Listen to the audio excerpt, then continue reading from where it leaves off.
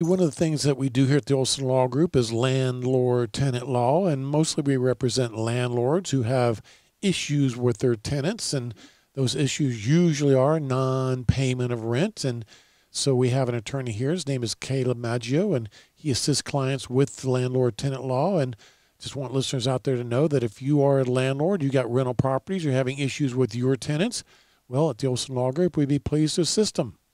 Absolutely. Caleb is very knowledgeable about how to help you as a landlord, everything from making sure that your lease is the way that it should be to best protect you, all the way through non payment of rent, where he may have to help you and do an eviction. Yeah. You know, uh, we've had a rental property for many, many, many, many years, and we've had many tenants come and go. We've had good luck with all of them, except for one.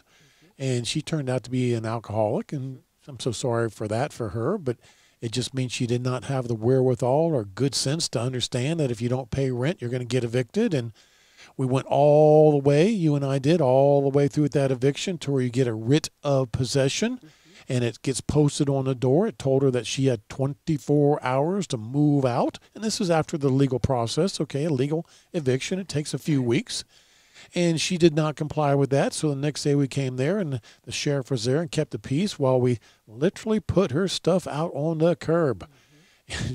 she, she was like, didn't really have a full understanding. And she was okay. She starts walking out, and the sheriff goes, Well, you may want to take your purse and your wallet with you, and probably want to put some shoes on too. so off she goes.